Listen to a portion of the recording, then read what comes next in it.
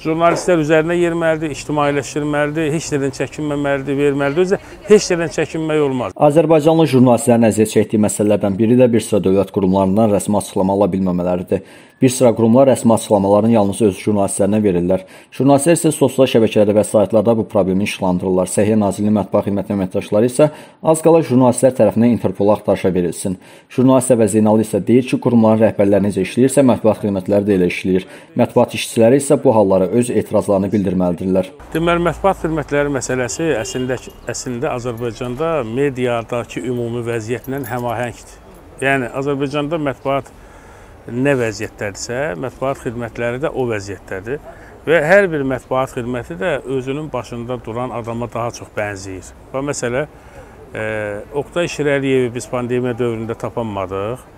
Onun mətbuat xidmətində tapanmadıq. Deyək ki, Rabitə və Yüksək Texnologiyalar Naziri var, bir Ramin Quluzadə.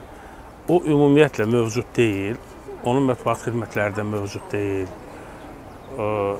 Hansı qurumda biraz işləməyə cəhd varsa, məsələn, deyək ki, Daxili İşlər Nazirliyinin mətbuat xidmətini tapmaq olur. Çünki Nazirliyin 102 xidməti də işləyir. Yəni bu Daxili İşlər Nazirliyinin müdafiə etməkdən getmir. Mənim münasibətlərim hamısına məlumdur. Amma məsələn, Bakı şəhər Baş Polis İdarəsini iş varsa, iş varsa mətbuat xidmətini tapmaq olur. Məsələ o vaxtı bir e, Rabitə Nazirliyində bir Müşfiq Əmirov vardı. Məsələn, çox yaxşı bir mətbuat xidməti idi. Niyə nazir o zaman, indi biz tənqid eləsək də, Əli Abbasov o zaman o şəraiti yaratmışdı. Yəni Azərbaycanda mətbuat xidmətlərinin məsələsi birbaşa e, rəhbərə aiddir.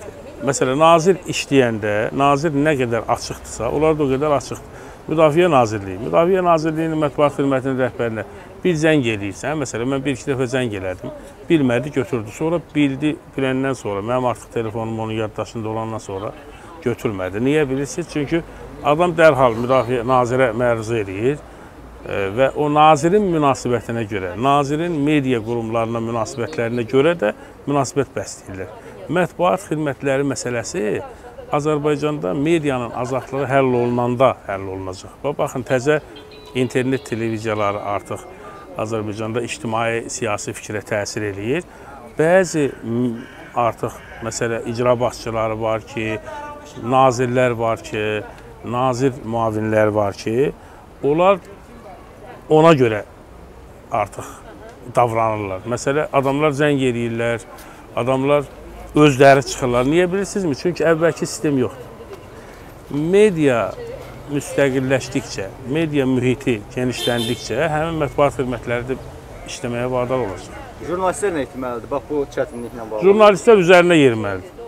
Jurnalistlər üzərinə yeriməlidir, ictimailəşdirməlidir, heç nədən çəkinməməlidir, verməlidir. Özü heç nədən çəkinmək olmaz. Yəni əgər Ehsan Zahidov telefona cavab verirsə, onu deməkdən çəkinmək lazım deyil. Və ya da Elşad var orada bir. Hacı. Ha, Hacıyev məsələn və yaxud da ki, Valih Vaqif Dərgahlı və yaxud da ki, o Pərviz Əbubəkirov. Özü də maraqlı bir şey mən müşahidə edirəm. Baxın, operativ Nazirlər Kabinetinin də e, elə operativ qərargahda da sözcüsü şeydir. İbrahim Məmmədov. İbrahim Məmmədovdur. Deməli, Azərbaycan mediasının içindən çıxan adamlar jurnalistlər, bizim həmkarlarımız, məsələn, Pərviz Əbubəkirov şeydədir, Səhiyyə Nazirliyindədir da bu mediadan çıxan həmkarlarımız bizə qarşı daha aqressiv olurlar, nəinki kənardan gələn adamlar.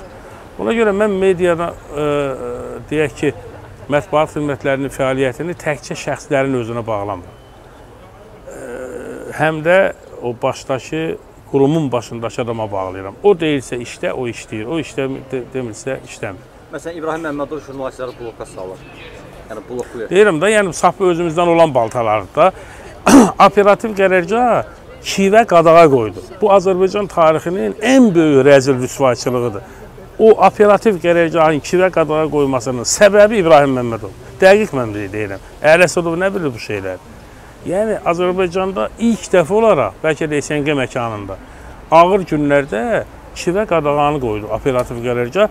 Onu da İbrahim Məmmədov elədi. Yəni mətbuatın içindən çıxan mətbuatın sıralarından gedən adamların mətbuata bizə qarşı aqressiyası həm də ölkədə bir total, e, bir totalitar şəraitin hakim olduğunu göstərir ki, biz bunu son vaxtlar Ramiz Mehdiyevin də çıxışlarında eşitdik, gördük. O da narahatdır, o da narazıdır. Sən demə 30 ildir Azərbaycanda media bərbad imiş. Media bərbaddısa, onun mətbuat xidməti necə olmalıdır ki?